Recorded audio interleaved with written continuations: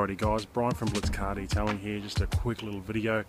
Uh, last night having dinner with the farm, my wife's parents and they uh, gave me a little toolbox and I had no idea what to do with it until I had an idea. Now what my idea was, was a bit of a detailer's caddy. Now I'm a big fan of um, AMC, Ammo and um, Auto Fetish YouTube channels out of America and seeing what they do with the detail caddy quite amazes me because it means I don't have to go back and forth to the work car.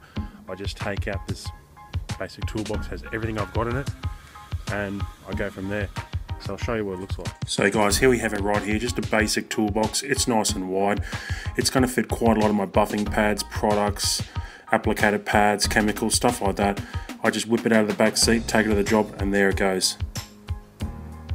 Alrighty guys as you can see down there this is a little example of what I carry for polishing or cut and polishing an average car.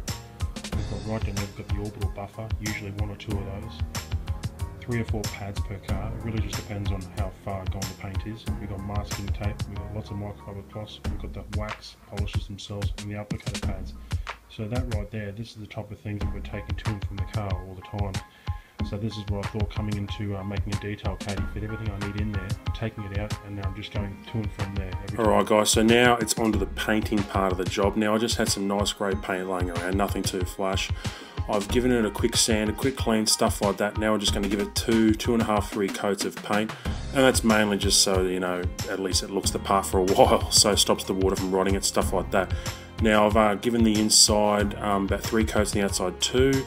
And then um, from there, it's uh, going to probably take about two hours to dry. And then I'm going to whack on some stickers, which I'll show you next. So there's the finished product right there, quite happy with that.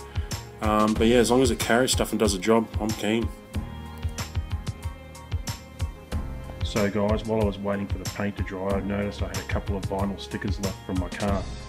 Now, perfect, I've just found out the Aussie flags will fit perfectly on the end and the Blitz car detailing letters will fit on the sides. So uh, yeah, and they're black, so I think they're going to stand out nice against the grey. So Alrighty, so what I'm doing here is just attaching the vinyl graphics. Maybe I'll uh, do another video of that another day, but they're just a basic stick-on kind of labels, so had them left over from another guy. Um, and there we go, finished product sitting on top of the barbecue there, just a bit of a black barbecue cover to give it some contrast, but wow, I'm kind of impressed, so three hour job in the backyard, I know might have saved me a few bucks, but you know, what can you do? Look at that, I'm happy that'll do the job.